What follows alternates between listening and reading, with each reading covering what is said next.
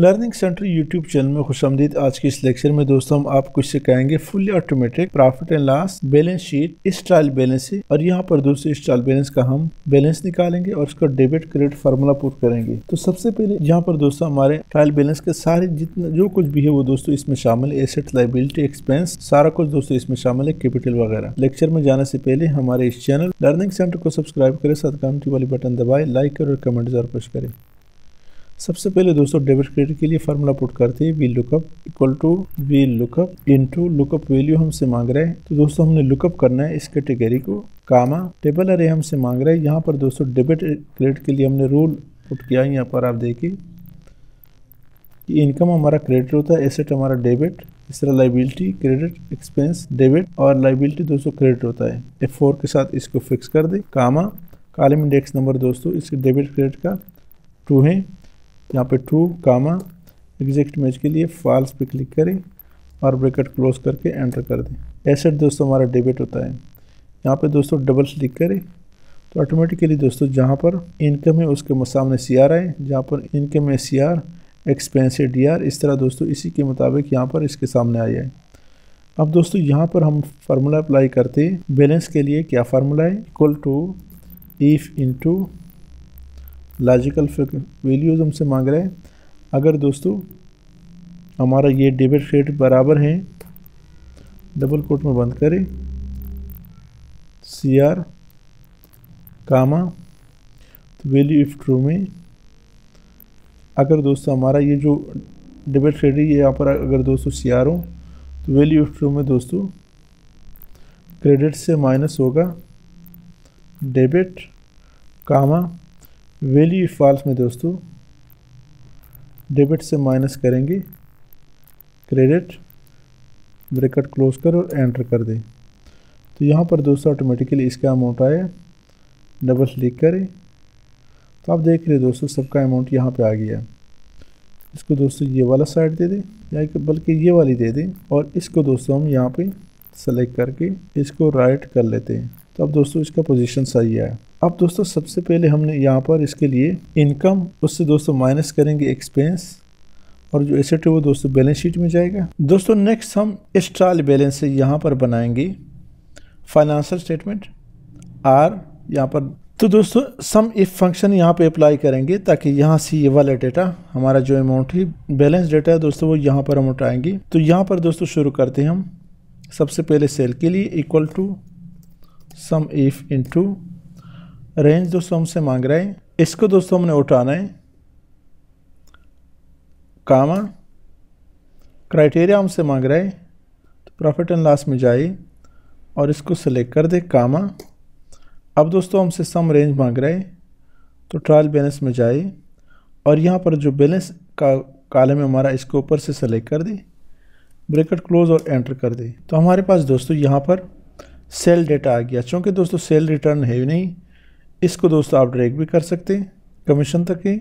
सबसे पहले दोस्तों, हमने इस सी सी को सेलेक्ट करके एफ़ फोर के साथ फिक्स कर दी और इस जी जी को सेलेक्ट कर दी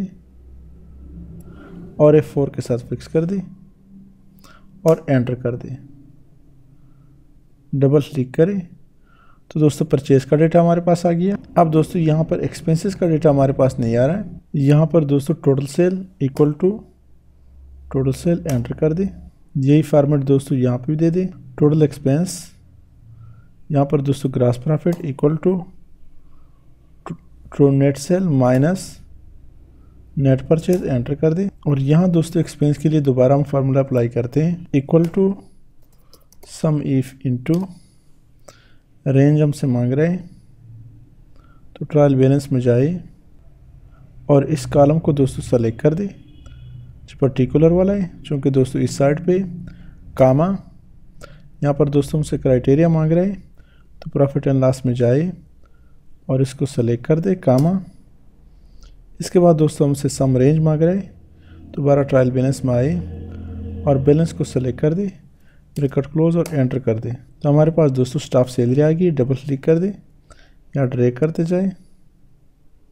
इनकम टैक्स दोस्तों हमारे पास नहीं आए, यहाँ पे चेक कर लेते हैं। कंट्रोल सी यहाँ पे देख लेते हैं। कंट्रोल वी यहाँ पर दूसरा डेटा दोस्तों इन उठाए यहाँ चेक कर लेते यहाँ दोस्तों हमने गलत लिखा है, इसको सेलेक्ट कर दे और कंट्रोल एक्स यहाँ पर कंट्रोल वी तो अब दोस्तों हमारे रिज़ल्ट सही आएगा। आप देख रहे हैं दोस्तों, यहाँ पर total expenses alt equal to यहाँ से, यहाँ तक, यहाँ पर दोस्तों कमीशन के लिए कमीशन यहाँ पर हैं। यह दोस्तों तो कमीशन के लिए दोबारा कर लेते हैं। Equal to sum if into range में दोस्तों हमसे मांग रहे हैं। यहाँ पर इस कॉलम को सेलेक्ट कर दे। कामा प्रॉफिट एंड लॉस में जाए और इस कमीशन को सेलेक्ट कर दे। कामा सम रेंज मांग रहा है तो प्रॉफिट ट्रायल बैलेंस में जाए और इस बैलेंस को सेलेक्ट कर दे ब्रेकर क्लोज और एंटर कर दे। तो यहाँ पर दोस्तों इक्वल टू ये एंटर कर दे। नेट इनकम के लिए दोस्तों gross profit minus total expenses इसमें दोस्तों ऐड करेंगे प्लस करेंगे कमीशन अर्नड ब्रेकर क्लोज और एंटर कर दे। हमारे पास दो सौ सतासठ लाख दस हज़ार पाँच सौ पाँच, हमारे पास ग्रास प्रॉफिट है इससे दोस्तों माइनस किया हमने। यहाँ पे देख लेते इक्वल टू ग्रास प्रॉफिट हमारा ये है।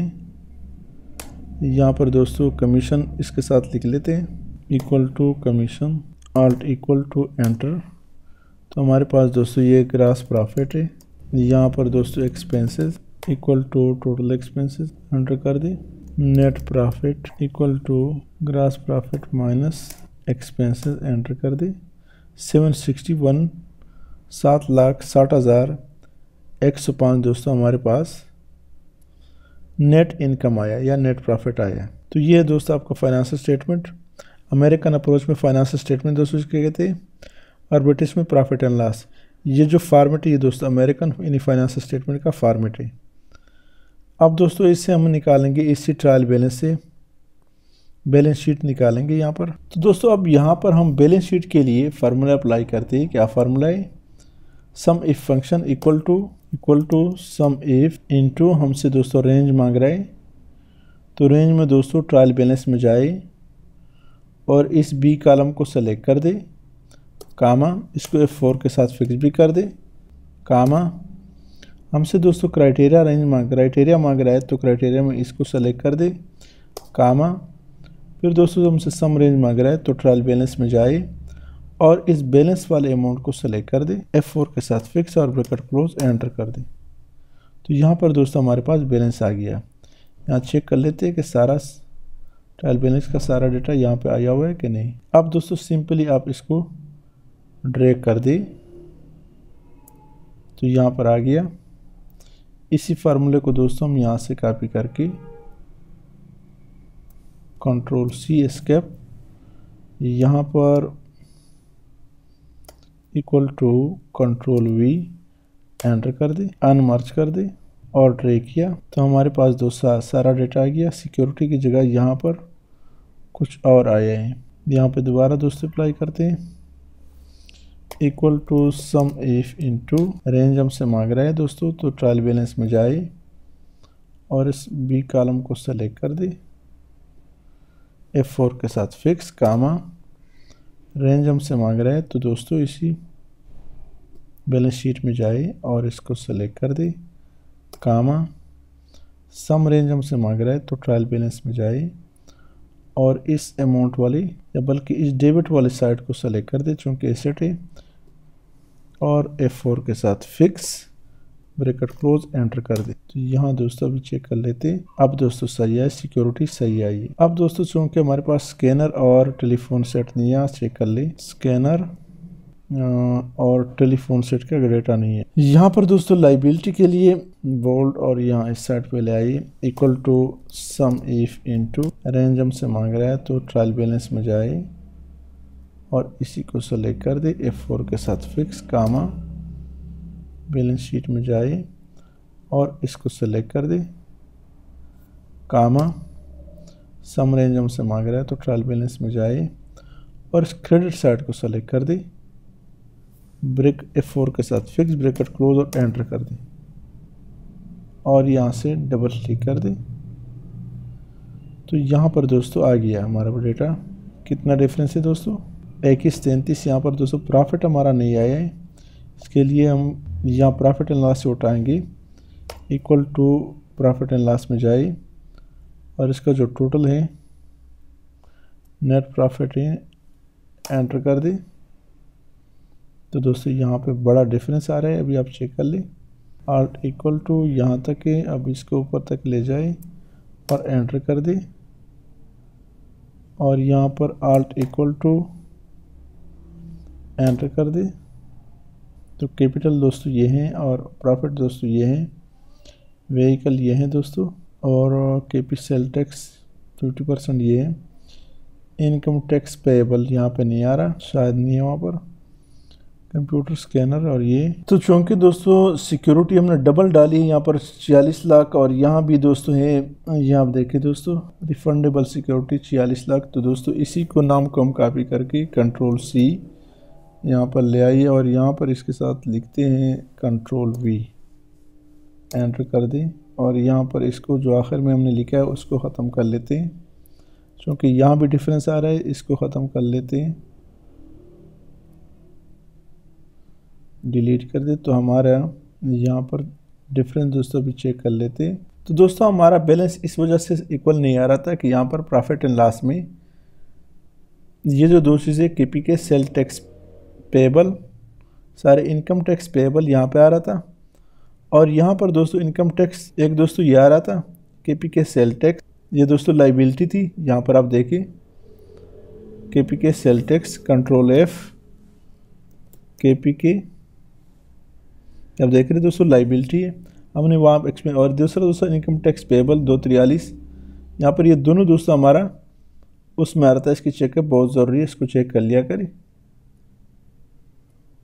अब देख रहे दोनों आ रहा था, इस वजह से यहाँ पर दोस्तों हमारा बैलेंस शीट का डिफरेंस आ रहा था। और यहाँ पर ऑलरेडी लाइबिलिटी हमने डाली है, जिसकी वजह से दोस्तों हमारा प्रॉफिट जो है वो कम आ रहा था।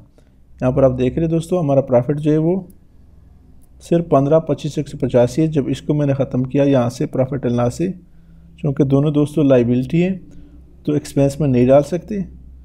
दोनों को मैंने ख़त्म किया। यहाँ से क्लियर